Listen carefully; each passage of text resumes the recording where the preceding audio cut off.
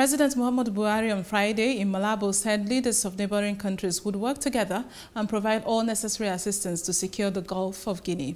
The president's spokesman Malam Garba Shehu said this in a statement that Buhari gave the assurance at a bilateral meeting with President Teodoro Obiang Nguema Mbasogo of Equatorial Guinea on the sideline of the 2019 gas summit.